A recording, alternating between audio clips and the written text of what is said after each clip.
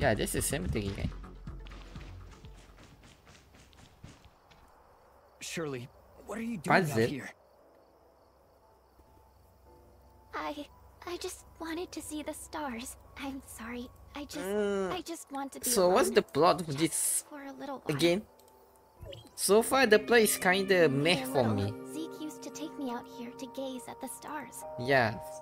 So far the the story is kinda I meh. like it here. All the bad things in the world just didn't exist. It kinda is meh for me too. Ah really? I wish things could be like back then. Wait, are you gonna die or something? Forever. Look at your face right there. I I didn't want to make Zeke sad. Yeah, you have a like a Okay.